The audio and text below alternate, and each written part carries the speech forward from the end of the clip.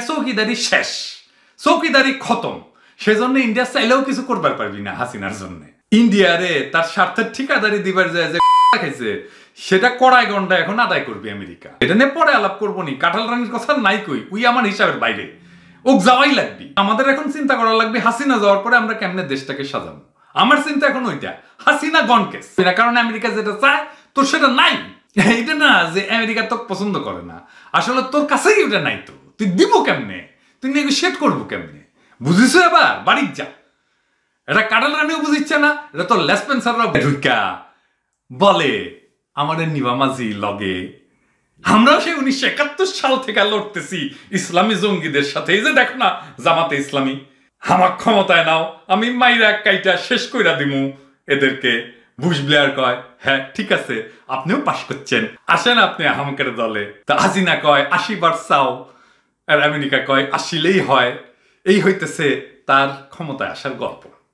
হাসিনা তারপর বন্ধুরা আসসালামু আলাইকুম। যুক্তরাষ্ট্রে ধরা খেলো আরেক আওয়ামী লীগ দুর্নীতিবাজ। প্রায় পাঁচশো কোটি টাকার সম্পদ জব্দ করা হয়েছে তার। এটি এই সহ প্রায় তৃতীয় জন ব্যক্তি যার সম্পদ জব্দ করা হয়েছে। বন্ধুরা হাসিনার ছেলের মাধ্যমে হাসিনাকে বাম্বু দেওয়া শুরু করে মার্কিন যুক্তরাষ্ট্র। আর এখন একে একে সব ধরনের নেতাকর্মী যারা বাইরের দেশে থাকে তাদের সম্পদ জব্দ করা শুরু করেছে। তো বন্ধুরা এই খবরটি ছাপানো হয়েছিল আমেলিগিরি একটি সমর্থিত নিউজ পোর্টাল বাংলা ইনসাইডারে। দর্শক মধ্যরাতের গরম খবর। যুক্তরাষ্ট্রে এবার আরেক বাংলাদেশির পাঁচ শত কোটি টাকা জব্দ। যুক্তরাষ্ট্রে দুর্নীতি বিরোধী অভিযানে ধরা পড়েছেন আরেক বাংলাদেশি। গত চৌঠা অক্টোবর তার জ্ঞাত আয় বহির্ভূত পাঁচশো কোটি টাকার সম্পদ জব্দ করা হয়েছে বলে নিশ্চিত তথ্য পাওয়া গিয়েছে এবং এই রিপোর্টটি প্রকাশিত হয়েছে বাংলা ইনসাইডার পত্রিকায়। দর্শক, আপনারা জানেন যে বাংলা ইনসাইডার হচ্ছে আওয়ামী লীগ সমর্থিত একটি পত্রিকা এবং সেখানে লিখেছে যে মার্কিন যুক্তরাষ্ট্রের অর্থ হিসাবে পঞ্চাশ মিলিয়ন ডলারের, পঞ্চাশ মিলিয়ন ডলারের সম্পদ জব্দ করা হয়েছে আমেরিকায়। এই বিতর্কিত আলোচিত ব্যবসায়ীর নাম হচ্ছেন মোত্তাজ্জেরুল ইসলাম ওরফে মিঠু। তো বন্ধুরা, এই বিতর্কিত আলোচিত ব্যবসায়ীর নাম মোতাজ্জেরুল ইসলাম ওরফে মিঠু। এই ব্যক্তিটি বাংলাদেশে থাকা অবস্থায় স্বাস্থ্য খাতের আলোচিত ব্যবসায়ী হিসেবে পরিচিত ছিল। আর বন্ধুরা, আপনারা জানেন, এই বাম্বু হাসিনা ক্ষমতায় আসার পর থেকেই এই যে শাহেদ তারপর আরেকটা মহিলা ছিল যে হাসপাতালের প্রতিষ্ঠিত অবস্থায় ছিল এবং এরা করতো কি করোনা টিকার নাম দিয়ে টিকা দিয়ে দিত। তবে এদের কাছ থেকে সার্টিফিকেট নিয়ে বিভিন্ন মানুষ বাইরের দেশে যেত এবং এরা এ ধরনের সার্টিফিকেটগুলো বিক্রি করতো। তো এই টাকার কিন্তু একটা অংশ বাম্বু হাসিনা আর কাউয়া খাদের কাছেও যাইতো। আর এসবেরই এখন প্রতিশোধ নিচ্ছে মার্কিন যুক্তরাষ্ট্র। মার্কিন যুক্তরাষ্ট্র বাংলাদেশে এখন একটি গণতান্ত্রিক রাষ্ট্র প্রতিষ্ঠা করতে চায়। তারা চায় চীনকে টিক্কা দিতে এবং এর প্রধান অস্ত্র হচ্ছে মানবাধিকার এবং গণতন্ত্র। তারা পুরো বিশ্বে নিজেদেরকে একটি রোল মডেল হিসেবে দেখাতে চায় যে তারা গণতন্ত্র আর মানবাধিকার প্রতিষ্ঠা করতে পেরেছে। তো বন্ধুরা, আসুন এই ব্যক্তিকে নিয়ে আলোচনা করা যাক। তো মিটু দুই হাজার ষোলো সালে ট্যাক্স হ্যাভেন নামে পরিচিত দ্বীপ রাষ্ট্রগুলোতে কোম্পানি খুলেন এবং পানামা পেপারসে তার নাম উঠেছিল। এই দ্বীপ রাষ্ট্র থেকে তিনি মার্কিন যুক্তরাষ্ট্রের নাগরিকত্বের আবেদন করেন এবং বিনিয়োগ কোটায় নাগরিকত্ব গ্রহণ করেন। অভিযোগ রয়েছে। মিঠু দুই সালে ট্যাক্স হ্যাভেন হিসাবে পরিচিত দ্বীপ রাষ্ট্রগুলোতে কোম্পানি খোলেন এবং পানামা পেপারসেও তার নাম উঠেছিল। এই দ্বীপ রাষ্ট্র থেকেই তিনি মার্কিন যুক্তরাষ্ট্রে নাগরিকত্বের আবেদন করেন এবং বিনিয়োগ কোঠায় মার্কিন যুক্তরাষ্ট্রের নাগরিকত্ব গ্রহণ করেন। খেয়াল রাখবেন। অনুসন্ধানে দেখা গেছে যে মার্কিন যুক্তরাষ্ট্রে তার বিনিয়োগের সঠিক উৎস তিনি জানাতে ব্যর্থ হয়েছেন। গত বছরের অক্টোবর মাস থেকে তার বিরুদ্ধে তদন্ত শুরু হয়েছিল এবং দীর্ঘ এক বছরের তদন্ত শেষে গত চৌঠা অক্টোবর তার মোট পঞ্চাশ মিলিয়ন ডলার অর্থাৎ বাংলাদেশি টাকায় প্রায় পাঁচশো কোটি টাকারও বেশি সম্পত্তি বাজেয়াপ্ত করার নোটিশ দেওয়া হয়েছে মার্কিন সরকারের। তো বন্ধুরা, দীর্ঘ এক বছরের তদন্ত শেষে গত চার অক্টোবর চার মোট পঞ্চাশ মিলিয়ন ডলার অর্থাৎ বাংলাদেশি টাকায় পাঁচশো কোটি টাকার বেশি সম্পত্তি বাজেয়াপ্ত করার নোটিশ দেওয়া হয়েছে। চিন্তা করে দেখুন বন্ধুরা, একজন মানুষই প্রায় পাঁচশো কোটি টাকার বেশি সম্পদ আমেরিকাতে পাচার করছে। এই টাকা আমরা মানে Sheikh Hasina million million dollar পাচার করছে, তার অটিস্টিক ছিল জয়ের কাছে কাউয়া খাদের ও বেশ million million, billion billion dollar পাচার করছে। এই টাকাটা কিন্তু কম মনে হতে পারে। কিন্তু এরকম মিঠু কিন্তু একজন নয়। আপনি দেখুন, এই যে এখানে শাহেদ আলম আছে। শাহেদ আলমও কিন্তু হাজার হাজার কোটি টাকা বিদেশে পাচার করেছিল।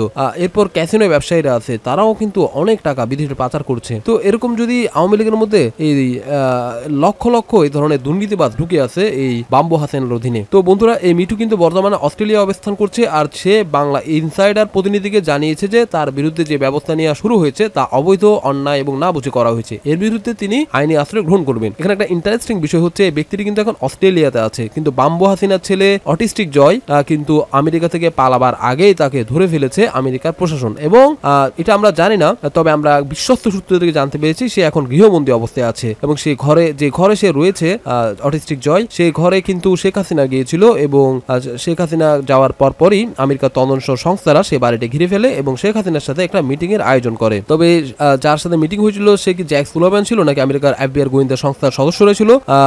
ঠিক আমরা জানি না, যদি সে জ্যাক সুলোভ্যান হয়ে না থাকে, তাহলে আমেরিকায় হয়তো শেখ হাসিনা দুইটা মিটিং হয়েছে। একটা হয়েছে আমেরিকার এফবিআই কর্মকর্তাদের সাথে এবং নিরাপত্তা নিরাপত্তা অধিদপ্তরের শীর্ষ অফিসার জ্যাক সুলেমানের সাথে। তো বন্ধুরা, মিঠুর মার্কিন যুক্তরাষ্ট্রে যে সমস্ত সম্পদ জব্দ করা হয়েছে, তার মধ্যে রয়েছে নিউ ইয়র্কের বঙ্কস নামে অভিজাত এলাকায় অ্যাপার্টমেন্ট, যেটি দুই মিলিয়ন ডলার দিয়ে সে কিনেছিল। পক্ষ থেকে। তবে এই মিঠু বর্তমানে অস্ট্রেলিয়া অবস্থান করছেন এবং তিনি বাংলা ইনসাইডারকে জানিয়েছেন যে তার বিরুদ্ধে যে ব্যবস্থা নেওয়া হয়েছে এবং তার এই যে পাঁচশো কোটি টাকা সম্পত্তি মার্কিন সরকার জব্দ করেছে, তা অবৈধ, তা অন্যায় এবং মার্কিন সরকার এটা না বুঝে নাকি করেছে। তিনি এর বিরুদ্ধে আমেরিকাতে আইনের আশ্রয় গ্রহণ করবেন বলে তিনি জানিয়েছেন। তো বন্ধুরা, এই মিঠু বাংলাদেশে আলোচনায় আসে আওয়ামী লীগ সরকার দুই হাজার আট সালে ক্ষমতায় আসার পর। এ সময় শেষ তৎকালীন স্বাস্থ্যমন্ত্রী ডাক্তার আফম রুল হকের সাথে সক্ষতা গড়ে তুলে স্বাস্থ্য খাতে বিপুল লুটপাট শুরু করে। পরবর্তীতে যারাই স্বাস্থ্যমন্ত্রী হয়েছে, সবার সঙ্গে তার সক্ষতা গড়ে উঠেছে। চিন্তা করে দেখুন, একজন খুবই সাধারণ একজন ব্যক্তি মানে একজন সাধারণ ব্যবসায়ী থেকে সে কি পরিমাণ টাকার মালিক হয়ে যায়, শুধুমাত্র আওয়ামী লীগের ছত্রছায়ায় থেকে। একজন স্বাস্থ্যমন্ত্রীর সাথে ভালো সম্পর্ক করার মাধ্যমেই সে এ ধরনের টাকা মেরে দেয়। আচ্ছা এ টাকা কি সে একা একা মেরেছে? স্বাস্থ্যমন্ত্রীকে কোনো ধরনের টাকা খায় নাই এই টাকার ভাগ কি কাউয়া কাদের কাছে যায়নি কিংবা বাম্বু হাসিনের কাছে যায়নি, অবশ্যই গিয়েছে। এরকম লাখ লাখ মিঠু আছে যারা নিজেরাও দুর্নীতি করার মাধ্যমে পাঁচশো কোটি টাকা বা শত শত কোটি টাকা মালিক হয়ে যায় আর তার একটা ভাগ কাউয়া কাদেরদের মতো লোকদের কাছে চলে যায়। তো এই মোজাম্মেল ইসলাম মিঠু কন্ট্রাক্টর নামে পরিচিত, তার বাড়ি রংপুরের গঙ্গাচার উপজেলায়। সে আওয়ামী লীগ ক্ষমতায় সরকার আসার পর থেকে স্বাস্থ্যমন্ত্রী ডাক্তার আফম রুল হকের অত্যন্ত ঘনিষ্ঠ ব্যক্তিতে পরিণত হয়। এরপর থেকে স্বাস্থ্য খাতে কেনাকাটায় এক চাটিয়া রাজত্ব করে। কিন্তু কোনো বাড়ি তার বিরুদ্ধে কোনো ব্যবস্থা করে নাই বাম্বু সরকার। বিভিন্ন সময় তার বিরুদ্ধে তদন্ত হলেও সে সময় সমস্ত তদন্ত থেকে সে বেরিয়ে যায়। মানে দেশটাকে একটা কি অবস্থাতে যে নিয়ে গিয়েছে সরকার? বাংলাদেশের সাধারণ মানুষ, এই যে তারা সরকারি চাকরি করে, তারা আসলে দুর্নীতি না করে কারা করবে? এদেরকে সরকার সুযোগ করে দিয়েছে দুর্নীতি করার জন্য। অর্থাৎ আপনি যদি সরকারি চাকরি পান, আপনি ইচ্ছামতো দুর্নীতি করতে পারবেন। এখন যারা দুর্নীতি করে, তারা যদি সৎ না হয় তাহলে তো সরকার অবশ্যই সুযোগ পাবে। আপনি যদি চাকরি করেন, আমি যদি চাকরি করি, আমরা কিন্তু সরকারের দোষ দিয়ে পার পাবো না। আমি এটা একদম ক্লিয়ার করে বলছি। সরকারের অবশ্যই দোষ দিয়েছে। কিন্তু এর মানে এই না যে আমার কোনো দোষ নেই। এটা আমি বলতে পারব না। কারণ আল্লাহ সুবহানাহু ওয়া তাআলা কোরআনে বলেছেন, আগে তুমি নিজে ঠিক হও। আগে আমাকে সৎ হতে হবে। আমি যখন সৎ হব, তখন কোনো অসৎ সরকার দেশে প্রতিষ্ঠিত হতে পারবে না। আপনি যখন অসৎ হবেন, আমি যখন অসৎ হব, তখন একটা অসৎ সরকার প্রতিষ্ঠিত হলেও আমাদের কিছু যায় আসবে না। আমরা তখন চিন্তা করব, না, আমি তো ঠিক আছি। আমি তো সরকারি কর্মকর্তা। আমি তো ব্যবসায়ী। এই সরকারের আমলে তো আমি দুর্নীতি করতে পারছি। এই ধরনের চিন্তা মাথায় চলে আসবে। সরকার ক্ষমতা আসার পর স্বাস্থ্যমন্ত্রী ডক্টর আফম রুল হকের অত্যন্ত ঘনিষ্ঠ ব্যক্তিতে পরিণত হন। এরপর থেকেই স্বাস্থ্য খাতে কেনাকাটায় এক চেটি রাজত্ব করেন।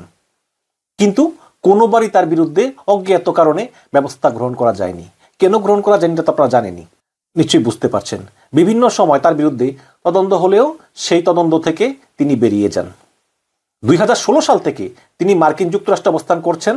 তবে মার্কিন যুক্তরাষ্ট্রে যখন তার বিরুদ্ধে তদন্ত শুরু হয় তখন তিনি অস্ট্রেলিয়ায় ব্যবসা গুছিয়ে ফেলেন। তো বন্ধুরা, এই মিঠু দুই হাজার ষোলো সাল থেকেই মার্কিন যুক্তরাষ্ট্রে অবস্থা করছে তবে মার্কিন যুক্তরাষ্ট্রে যখন তার বিরুদ্ধে তদন্ত শুরু হয়, তখন সে অস্ট্রেলিয়ায় তার ব্যবসা নিয়ে আসে আর সেখানে সে এখন ব্যবসা করছে। ঢাকায় তার মূল প্রতিষ্ঠান লেক্সিকন মার্চেন্টাইজ তবে এই প্রতিষ্ঠান ছাড়াও তার অন্তত তিরিশটি ব্যবসা প্রতিষ্ঠান রয়েছে। মিঠুর সম্পত্তি জব্দ সংক্রান্ত যুক্তরাষ্ট্র প্রশাসনের আদেশে বলা হয়েছে যে, এই সম্পদগুলো বৈধ পথে উপার্জিত নয় এবং তার এই সম্পদ অর্জনের উৎস মিঠু দেখাতে পারেনি। আর এই কারণেই তার সম্পত্তিগুলো জব্দ করেছে মার্কিন সরকার। তবে মিঠু এখন এই ব্যবস্থার বিরুদ্ধে আইনি প্রতিকার গ্রহণের জন্য আদালতের দ্বারস্থ হবে বলে জানা গিয়েছে। তবে আদালতের দ্বারস্থ হয়ে কোনোই লাভ নেই, কারণ এর চেয়ে বড় বড় এর চোর দাদারা, অর্থাৎ বেনজির আহমেদের মতো কিংবা সাবেক প্রধান বিচারপতির মতো কিংবা এই যে আপনার অ্যাসালম গ্রুপের মতো বড় বড় এদের যেসব দাদা চোর রয়েছে, বাম্বু হাসিনার যেসব ডান হাত রয়েছে, এরাও বড় বড় লবিস নিয়োগ করেছে এসব মামলা থেকে বাঁচার জন্য। কিন্তু এরা তো এসব মামলা থেকে বাঁচতে পারবেই না। যুক্তরাষ্ট্র যদি প্রয়োজন হয়, এরা যে দেশে থাকুক না কেন, সেই দেশে তুলে এনে এরা ইন্টারপোলের মাধ্যমে যুক্তরাষ্ট্রের কারাগারে প্রেরণ করতে পারবে এমন ক্ষমতা যুক্তরাষ্ট্রের রয়েছে এবং অনেককেই এই ধরনের মামলার মধ্যে বাইরে থেকে ধরে এনে জেলে হাজতে প্রেরণ করা হয়েছিল। এর মধ্যে একজন হচ্ছে যে সজীব বাবা, জয় বাবা লোকনাথ অর্থাৎ শেখ হাসিনার বাম্বু হাসিনার সুযোগ্য পুত্র, মূলা বিজ্ঞানী এই জয় বাবার একটি পুরস্কার পেয়েছিল তথ্য প্রযুক্তিতে অবদান রাখার জন্য। একটা চীনা দম্পতি একটা কোম্পানি গড়েছিল তুলেছিল এবং সেই কোম্পানি যে মালিকরা ছিল, আমি এ নিয়ে আগে একটি ভিডিও বানিয়েছি, তাদেরকে থাইল্যান্ড থেকে ধরে এনেছিল আমেরিকান সরকার। তো তারা যা করতো, বিভিন্ন তৃতীয় বিশ্বের যেসব সরকার আছে, শেখ হাসিনার মতো এবং কম্বোডিয়ার মতো যেসব তৃতীয় গরিব দেশগুলোতে যেসব সরকার প্রধানরা রয়েছে, এদেরকে অফার দেয় যে, আমরা এই ধরনের পুরস্কার দিয়ে থাকি, তোমরা তো স্বৈরতান্ত্রিক সরকার।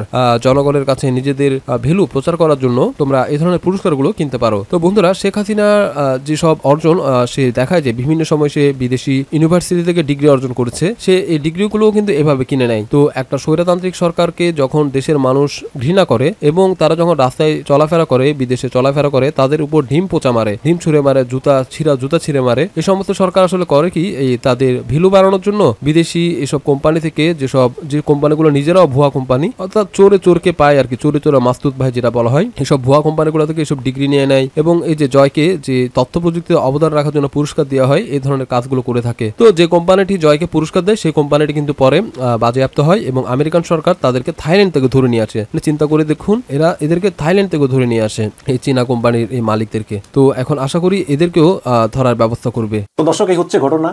এই আওয়ামী লীগ সরকারের যে দুর্নীতিবাজগুলো, যারা এই সরকারের আশ্রয় প্রশ্রয় দুর্নীতিবাজ হয়েছে, অবৈধভাবে কোটি কোটি টাকা কামিয়েছে, সব কিন্তু মার্কিন সরকার জব্দ করতেছে। এবং আমরা আশা করব, শুধু মার্কিন সরকারই নয়, ইউরোপিয়ান ইউনিয়নের ভুক্ত দেশগুলো এবং আরব কান্ট্রিগুলো তারা একই পদ্ধতি গ্রহণ করবে, এমনকি সিঙ্গাপুরও একই পদ্ধতি গ্রহণ করবে। গ্রহণ করে এইসব দুর্নীতিবাজরা, যারা এই বাংলাদেশ থেকে লুটপাট করে, টাকা পাচার করে, এই আমেরিকাতে বা বিভিন্ন দেশে বাড়িঘর করেছেন, সবার সম্পত্তি জব্দ করা হবে।